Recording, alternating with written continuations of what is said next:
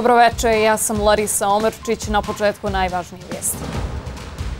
Pokrenuta inicijativa za smjenu ministrice Turković, ukidanje akciza i dalje na čekanju. Počeo 17. strateški forum na Bledu, Ukrajina i Zapadni Balkan u fokusu. Ukrajina pokrenula ofanzivu na jugu zemlje šest mjeseci nakon početka rata. Sud BiH odlučio, članovi CIKA su izabrani u skladu sa zakonom.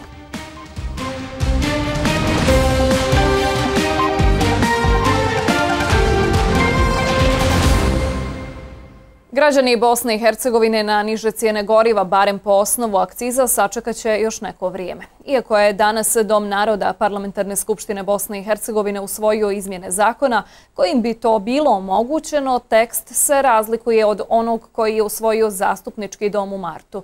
Zakon će sada ići na usaglašavanje. Burnu raspravu na sjednici izazvala je inicijativa za smjenu ministrice vanjskih poslova Bosne i Hercegovine Bisere Turković, koja je usvojena.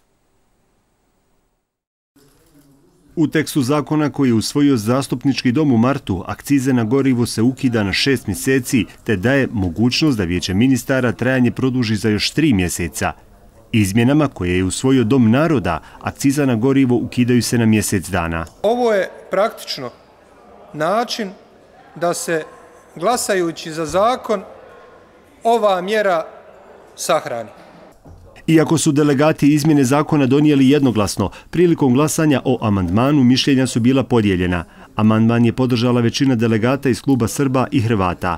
Iako pojedini delegati smatraju da je zakon neprovodiv, iz uprave za indirektno oporezivanje kažu da bi akcize bile ukinute 20 dana od objavljivanja u službenim novinama. Kad, kad bitne teme za građane Bosne i Hercegovine postanu predizborne teme, a parlament je stvar procedura, onda prođe više vremena nego što ljudi očekuju. Ali pustimo da se parlamentarne procedure završi, imat ćemo to vrlo brzo ukoliko i predstavnički dom odredi članove zajedničke komisije. Ja mislim da je to moguće brzo uraditi. Najlakše je bilo, eh, ali nije bilo sluha za to i mi smo to predlagali, najveći učinak bi bio da smo ukinuli, eh, suspendirali PDV na naftu i naftne derivate. Međutim, nije bilo uopće razumijevanje da se o tome razgovara u ovom trenutku.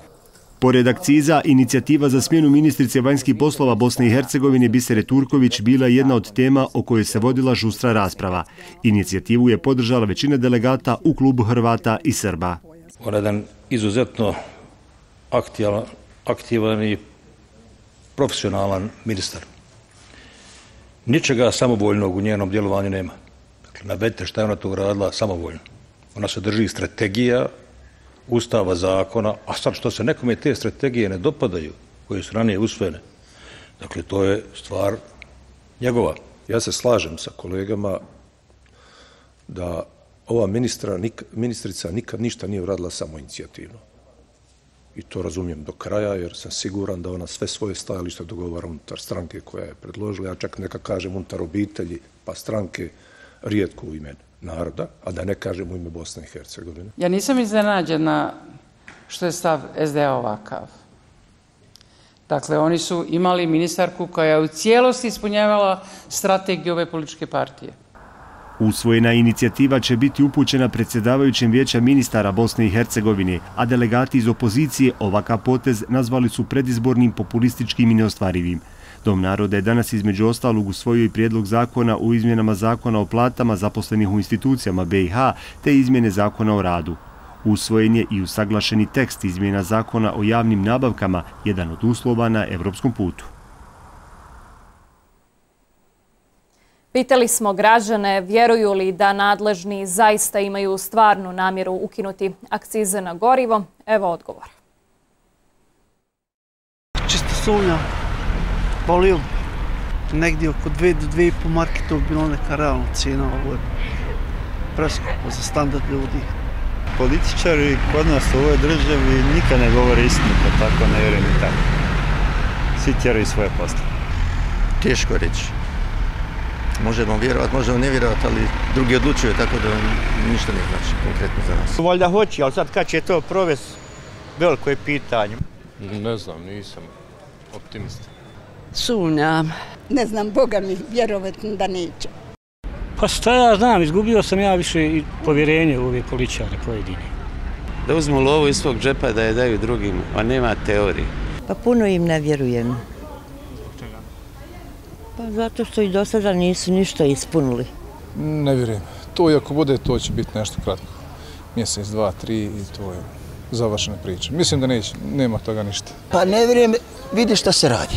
Vidite da obećavaju, obećavaju, možda će nešto biti. Mogu i da će se promijeniti. Trebalo bi. Nabolje ići. Ma nema šanse. To je njihovo dobiti. Sud Bosne i Hercegovine odbacio je tužbu protiv odluke Parlamentarne skupštine Bosne i Hercegovine o imenovanju članova Centralne izborne komisije Bosne i Hercegovine. Sud je 24. augusta odbacio kao nedopuštenu tužbu Branka Petrića, Novaka Božikovića i Sanje Stanimirović-Ostojić protiv odluke Zastupničkog doma Parlamentarne skupštine Bosne i Hercegovine o imenovanju članova Centralne izborne komisije Bosne i Hercegovine. Apelanti su se žalili na proceduru izbora. you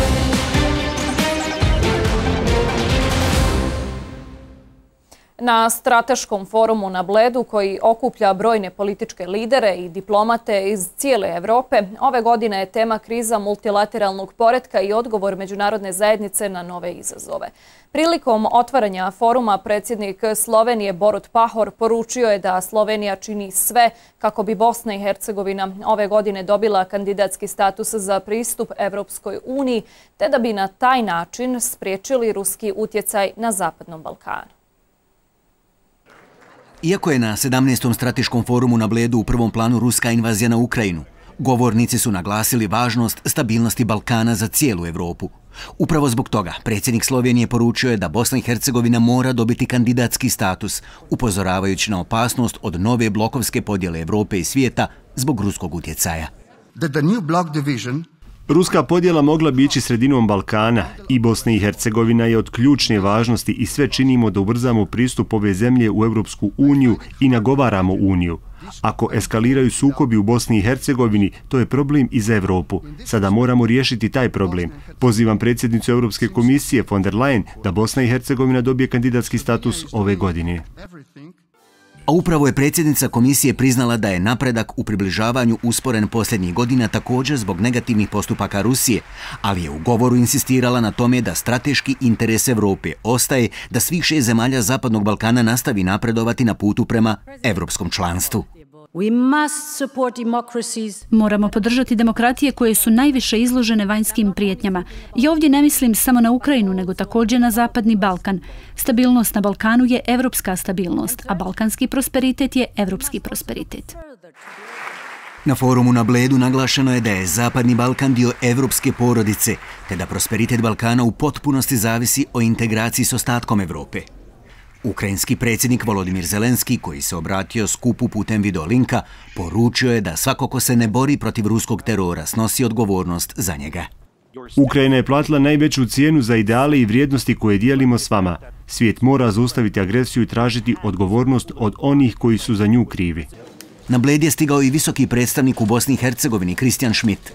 Smatra se kako će Schmidt posjetu iskoristiti za konsultacije u vezi političkih odnosa u našoj zemlji. Ovogodišnjem forumu organizatori su dali naziv vladavina moći ili moć pravila, tako da je jedna od poruka koja se šalje kako je očigledno da u svijetu postoje dva principa, vladavina sile i jačeg ili vladavina prava. Prilikom otvaranja foruma naglašeno je da sve zavisi od moći demokratije. Visoki predstavnik Međunarodne zajednice u Bosni i Hercegovini Kristijan Schmidt sastao se sa premijerom Hrvatske Andrejem Plenkovićem na marginama Bledskog strateškog foruma. Plenković je o tome izvijestio javnost na Twitteru. Razgovarali su, naveo je o situaciji u Bosni i Hercegovini u oči opštih izbora koji se održavaju 2. oktobra. Podržavamo njegova nastojanja da Bosnu i Hercegovinu učini funkcionalnijom i stabilnijom zemljom u kojoj Hrvatska želi da sva tri konstitutivna naroda budu jednakopravna, napisao je Plenković. U Hrvatskoj pljačka INE državne naftne kompanije. Svih petoro osumnjičenih da su malverzacijama s plinom oštetili INU za više od milijardu kuna ili 149 miliona eura ostaje u pritvoru. Ministar privrede Davor Filipović najavio je vanrednu reviziju plinskog poslovanja u INI, a u Ministarstvu financija objavili su detalje krađe. Blokada 813 miliona kuna u aferi preprodaje ininog plina najveća je u historiji Ureda za sprečavanje pranja novca, a prvu informaciju o mogućim malverzacijama Ured je primio iz bankarskih krugova. Zatražit ću izvanrednu reviziju plinskog poslovanja INE i to za godinu 2020. 2021. i dio 2022. godine. Ta revizija treba će obuhvatiti i ulogu interne revizije INE, revizijskog odbora, eksterne revizije, te naravno ulogu i uprave i nadzornog odbora. Uprava INE mora ponuditi jako puno odgovora. Ovo je stvarno specifičan slučaj jer je u biti rezultirao sa blokadom najvećeg iznosa znači, u, povijesti, u povijesti ureda. To je neka protuvrijednost u kunama od cirka 813 miliona kuna koji su blokirani u osam poslovnih banaka. Po onome što ja znam, radi se o tome da je jedna osoba odobravala nekakve niže cijene energenata. Po onom isto što, što sam iz medija saznao je, mislim da je to čak bila i gospodinova izjava da to kao nije ništa neobičajeno, nego da je to inače tako funkcioniralo. Ako su to doista nekakvi procesi interni u INI dozvolili, onda je to neuobičajeno. Oružane snage Ukrajine pokrenule su snažne ofanzivne akcije u više pravaca na jugu Ukrajine. Kijev navodi da su vojnici probili prvu liniju odbrane ruskih snaga u oblasti Herson. Ranije je objavljeno kako su ukrajinske snage započele operacije koje za cilj imaju pripremiti teren za značajnu ukrajinsku kontraofanzivu. Ova ofanziva dolazi šest mjeseci nakon početka rata u Ukrajini nakon informacija da su Rusi rasporedili manje jedinice na linije fronta nego što je to do sada bio slučaj. Herson je zauzet u prvim danima rata. Najmanje deset Iračana ubijeno je nakon što je utjecajni šijetski lider Muktada El Sadr objavio da će napustiti politiku, što je potaknulo njegove lojaliste da napadnu vladin kompleks u Bagdadu. Sadr je saopštio da zatvara svoje institucije kao odgovor na nerješiv politički zastoj i kritikovao je šiitske političke vođe jer nisu poslušali njegove pozive na reforme. Sadr je u junu povukao svoje zastupnike iz parlamenta pošto nije uspio formirati vladu po svom izboru. Sadrove pristalice od kraja jula okupiraju parlament i održavaju proteste blizu vladinih zgrada, te tako zaustavljaju proces izbora novog predsjednika i premijera. Strahuje se da će Sadrova objava potaknuti njegove pristalice na eskalaciju protesta, čime bi mogla početi nova faza nestabilnosti u Iraku.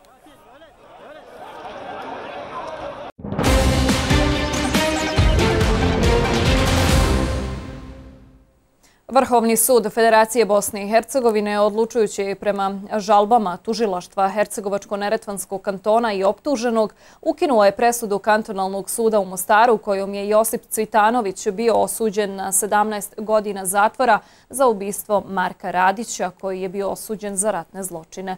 Predmet je vraćen kantonalnom sudu na ponovno odlučivanje. Skupština kantona Sarajevo jednoglasno je usvojila prijedlog zakona o prevenciji i suzbijanju korupcije u ovom kantonu. Predloženim zakonom propisuju se između ostalog obaveze nosilaca javnih funkcija u kantonu zaštita prijavitelja korupcije. Zakonom je propisano da je Ured za borbu protiv korupcije i upravljanja kvalitetom nadležan za pokretanje postupka za utvrđivanje postojanja sukoba interesa.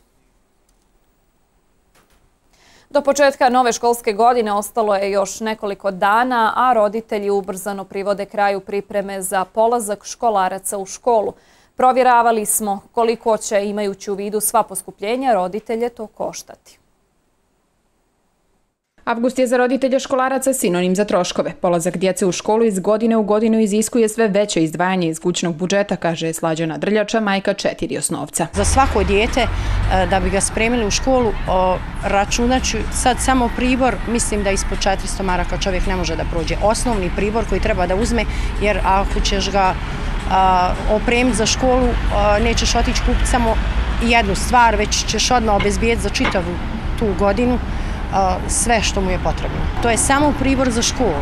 A ako bi išli da se kupi normalno djete, svi mi kupujemo patike pred e, polazak u školu, pa ovaj, e, kupuju se jaknice, novi hlača, nove trenerke, drugo djeca su izrasla, ljeto je prošlo i ono što su imali to spoderali. Besplatni užbenici samo su kap u moru troškova, kažu roditelji. U to smo se i sami uvjerili u knjižarama. U prosjeku, bar u ovoj knjižari, možda 20% daje poskupljao taj pribor. Sveske se kreću od male od 60 finga do marku i 40, velike od marku i 30 do 2 marke i 70 pernice pune su od 15 maraka do 23 80, prazni su od 6 do 9 maraka. Iako su u pojedinim lokalnim zajednicama besplatni, u ostalim roditelji moraju izdvojiti i novac za komplete učbenika za učenike viših razreda koji u prosjeku koštaju oko 200 maraka. Uz te komplete ne dolaze učbenici stranih jezika koji koštaju između 25 i 55 maraka. Nakon toga slijedi školski pribor, sveske, olovke, bojice, pribor za likovno, kao i lenjiri, šestari i sve to u ukupnom iznosu iznosi oko 150 do 200 maraka. Školska torba se kreće od 30 do 100 maraka, a jedna od značajnijih stavki na ovom podužem spisku troškova jeste i e, garderoba, odnosno odjeća i obuća koju su djeca najčešće umeđu vremenu prerasla patike i oprema trenerka i majica za fizičko vaspitanje, jakna, cipele i još mnogo toga. Kada se sve to sabere, troškovi za opremanje školarca iznose između 700 i 850 maraka.